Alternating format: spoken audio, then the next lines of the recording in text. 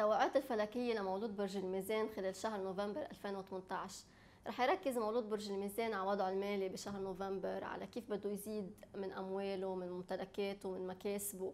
في عنده فرصة إيجابية إنه يحصل على مبلغ مالي أو إنه ينفرج ماليا. آه، حتى معنوياته رح تكون كتير عالية بشهر نوفمبر. ممكن يصير حدث معين تقريبا بالأسبوع الأول من شهر نوفمبر بتخليه يزيد من معنوياته ويفرح. آه، ممكن يصفقوا له الآخرين. فشهر نوفمبر شهر إيجابي عليه.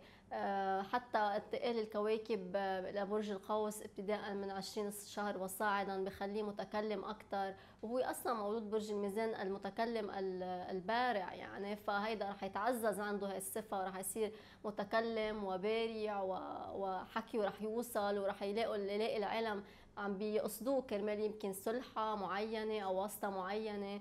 حتى ممكن إنه يتعلم شيء جديد ابتداء من 20 شهر وصاعدا. ممكن يكتسب شيء جديد يفكر يمكن يفوت بدورة علمية جديدة أو دورة ثقافية جديدة.